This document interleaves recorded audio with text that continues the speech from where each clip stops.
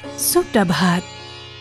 पाँच दिसंबर 2019 गुरुवार मार्ग शीर्ष शुक्ल पक्ष, नवमी तिथि आपके लिए मंगलमय हो। अंतर अंगुरी चार को सांच झूठ में होए सब माने देखी कही, सुनी न माने कोई। सत्य और झूठ के बीच चार अंगुली का फ़र्क होता है, इसलिए सिर्फ़ सुनी सुनाई बातों पर ही भरोसा नहीं करना चाहिए। बुद्धिमान लोग जब तक खुद नहीं देखते, तब तक वो किसी बात को नहीं मानते हैं। हमें कानों से सुनी हुई बातों के बजाय आँखों से देखी हुई बात पर यकीन करना चाहिए। कहने का अभिप्राय ये है कि हमें लोगों की सुनी सुनाई बातों पर यकीन नहीं करके, सच और झूठ के बीच के फ़र्क को देखना चाहिए। इसी अनमोल सीख के साथ एन आई आपके मंगल दिन की कामना करता है।